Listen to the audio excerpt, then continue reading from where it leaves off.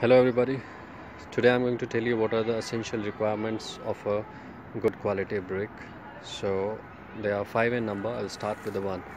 The first one is the shape of the brick.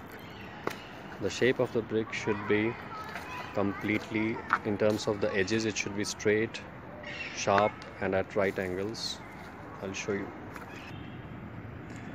These are the edges. This should be straight and at right angle which is not. Second is the color. It should have a uniform color that is reddish in color. If it is not uniform in color that means it is slightly overburnt or underburnt. Third is it should give a metallic sound when two bricks are struck against each other. Next fourth is if it is dropped from a height of 1 meter it should not break. And the last and most important is the size. The size dimensions of a normal brick traditional brick is 19 by 9 by 9 centimeter. 19 centimeter 9 centimeter and 9 centimeter as well